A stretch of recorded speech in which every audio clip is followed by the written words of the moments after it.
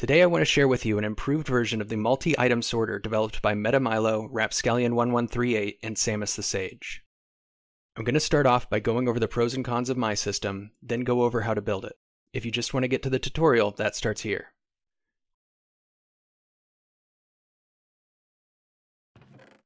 The biggest improvement is that this version works at hopper speed, which is twice as fast as the previous version. It also means that you don't have to slow down items if you want to attach this to an existing hopper line.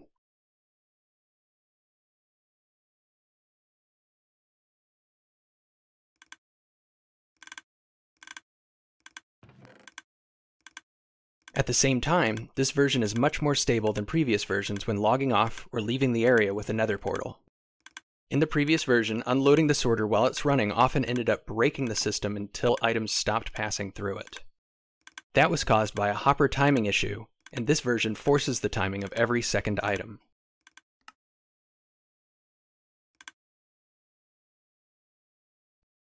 One thing to remember about all sorting systems is to not partially load them while they're running, or you risk item buildup in the unloaded chunk.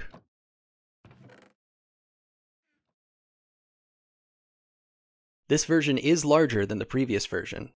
Its dimensions are 3 wide by 8 deep by 7 high, which is 1 block wider and 2 blocks deeper than the previous version.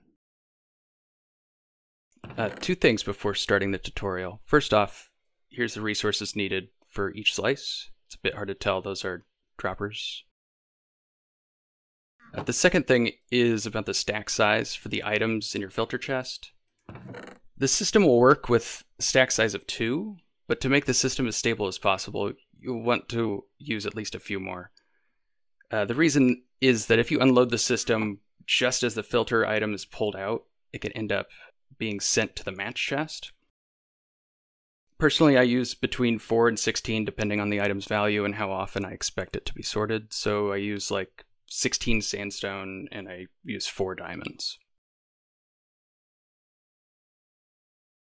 Okay, now for the tutorial I'm going to start with the path that items take through the system.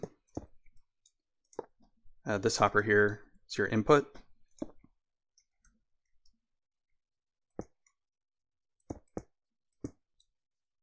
And the dropper elevator points back into your filter chest.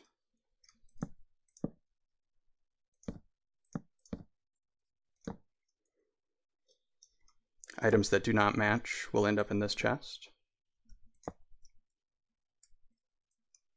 and items that do match will end up in that one.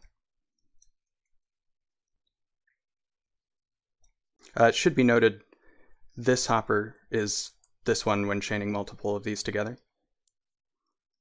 I'm going to take out the comparator signal of this hopper back here. Furnace, just a single item in it.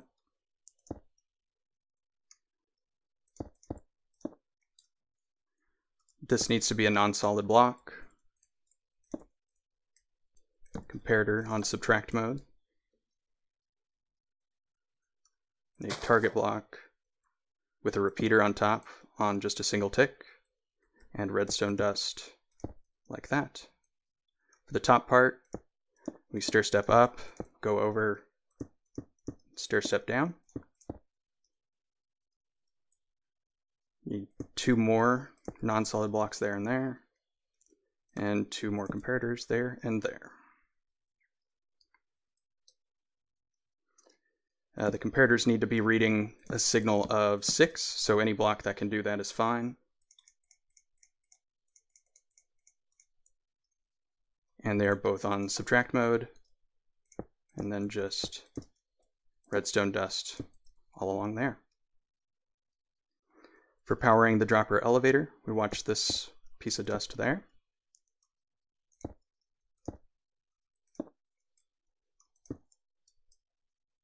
Repeater, single tick.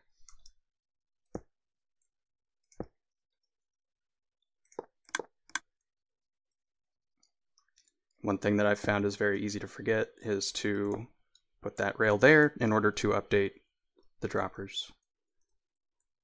Also, don't forget this repeater, single tick.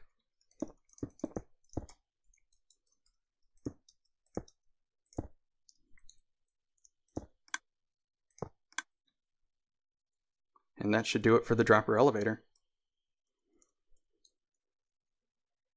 The side piece is a little hard to uh, name, I found. So uh, basically, what it does is it's going to lock the input hopper seven out of every eight game ticks. Uh, and what that does is it allows it to go at hopper speed, but we also know exactly when we're going to receive another item. And that piece of dust there uh, fixes the timing issue when it comes to the system breaking on reload.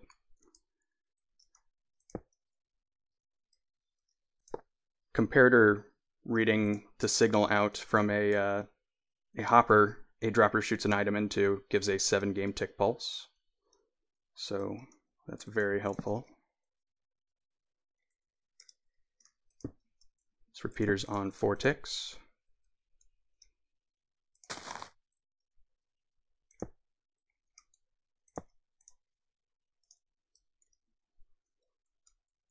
And then you just have a redstone line going along the back of all that you have in a row.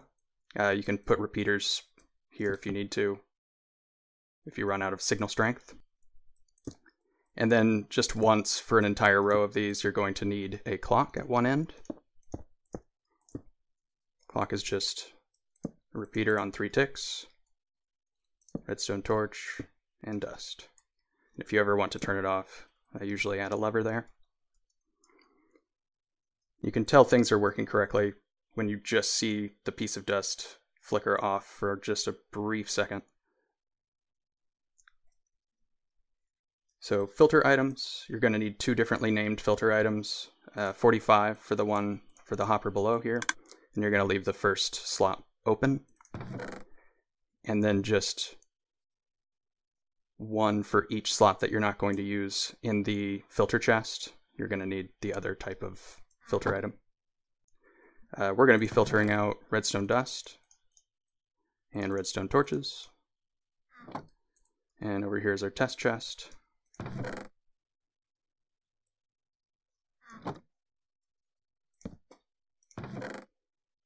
So you should see the piece of redstone dust disappear and come back.